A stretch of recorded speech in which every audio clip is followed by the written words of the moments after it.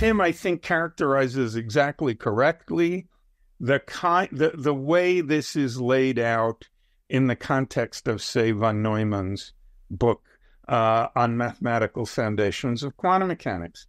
Um, what you have there is a situation where von Neumann says, well, look, there's this, you know, there's this Frankenstein monster, as Tim very nicely put it, um, of a theory. Okay. There's a certain way that the quantum state behaves when it's not being measured, and there's another way that it behaves when it is being measured. And von Neumann, just as Tim says, calls one of them process one and one of them process two.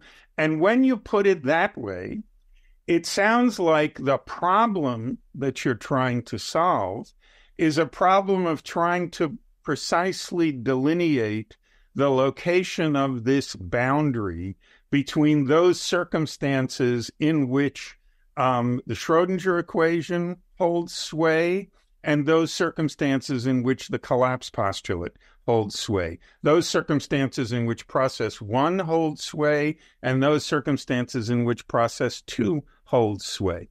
And to the extent that you're treating the situation that way, as von Neumann does, you're in some sense trying to be trying to solve what Tim calls the reality problem. Okay. Trying to answer questions, however unwieldy they are, about what's actually going on. Okay. And you might conclude after a little worrying about this that this is the wrong way to approach it and you ought to take a different approach, like Tim says, characteristic of something like the GRW theory, where you don't tie this second process to the occurrence of a measurement because you realize you just don't know how to set in a reasonable way the location of this boundary between those circumstances in which the collapse postulate applies and those circumstances in which the Schrodinger equation applies.